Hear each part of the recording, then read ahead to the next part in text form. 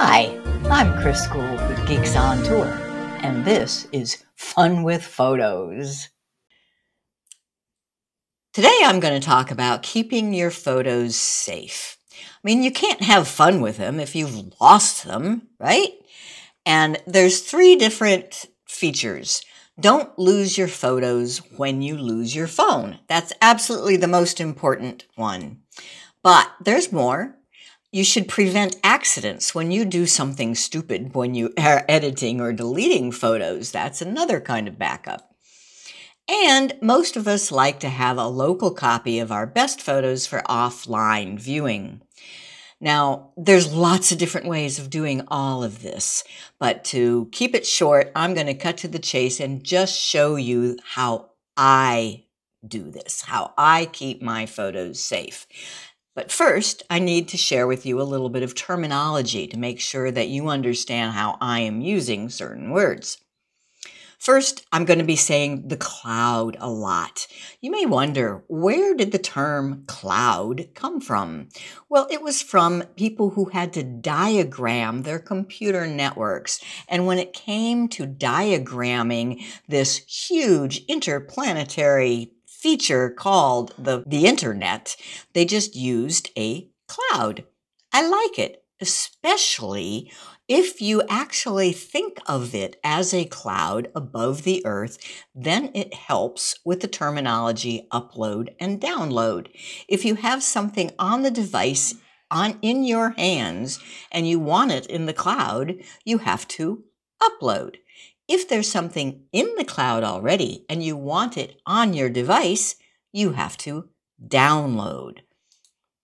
And last about the cloud is you don't just put your photos anywhere in the cloud.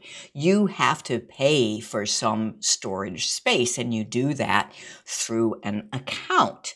Every account has a username and password. The photos are stored for your eyes only unless you should specifically choose to share something. The last term is backup. Now, the first meaning of the word is simply to copy photos from your phone to the cloud. That is a backup from your phone to the cloud. But there's more.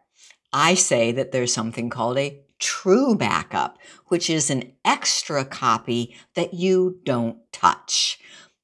For example, I use Google Photos for the number one, copying photos to the cloud, and I work with them there. It's my working copy. So I could accidentally delete bunches of them.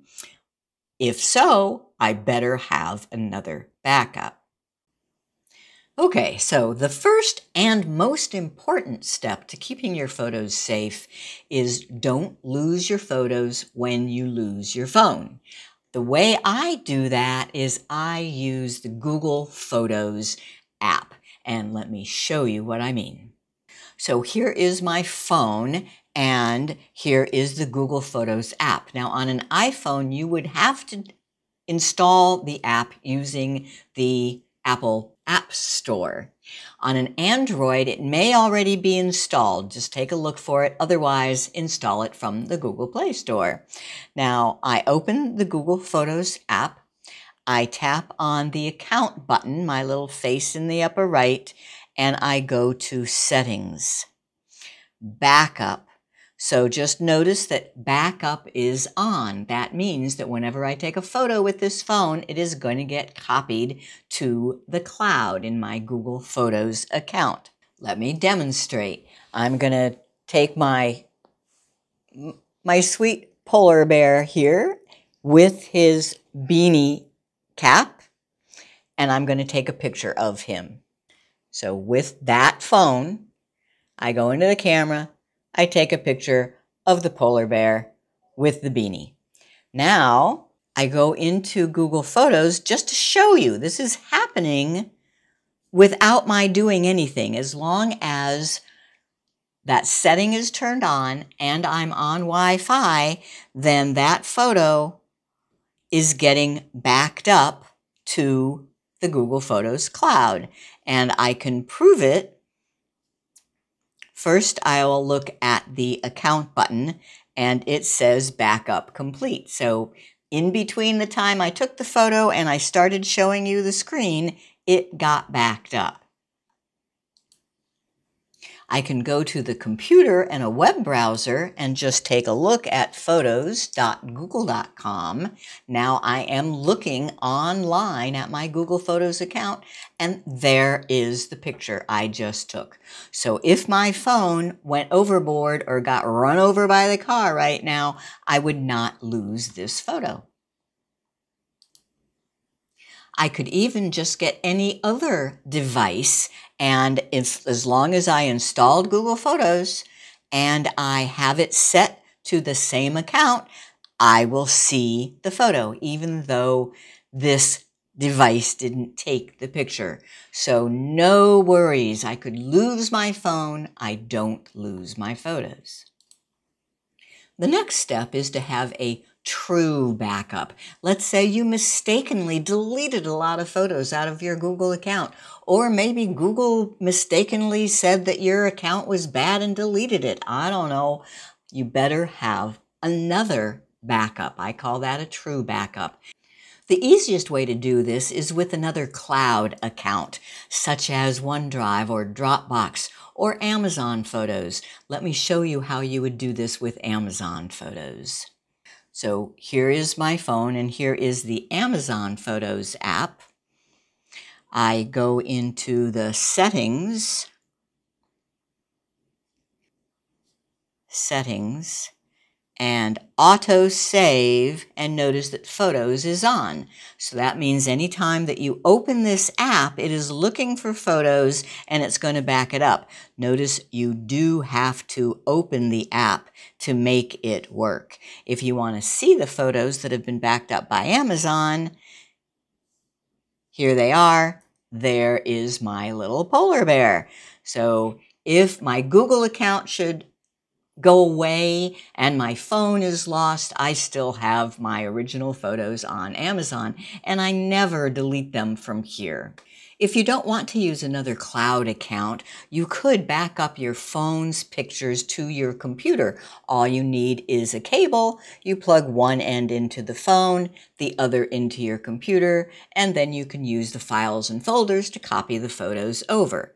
Or you can get a thumb drive. Yes, they actually make thumb drives that will work in the phone. On this particular one, I take this cap off and I have a lightning adapter. This will go into an iPhone. I take this end off and I have a C adapter that will go into an Android, an Android phone. And then I can also put the cap back on and I get a regular USB-A adapter that'll go into the computer. The third and final layer is to download a copy, probably just of your best photos, to your computer so that you have offline. If for chance you're somewhere where there's no internet, you have your computer, you still have your pictures. Let me show you what I mean. So here are all my Google photos, and I have thousands and thousands and thousands of them. I would like to have a copy on my computer's hard drive, but not of all of these. I take several pictures anytime that I see something nice. I don't want all of those on my computer. I have developed a system over the years where I make an album of my best photos for each month. So for example, here is April. Instead of the probably 1,500 pictures I took in April. This is just a couple hundred of my best pictures.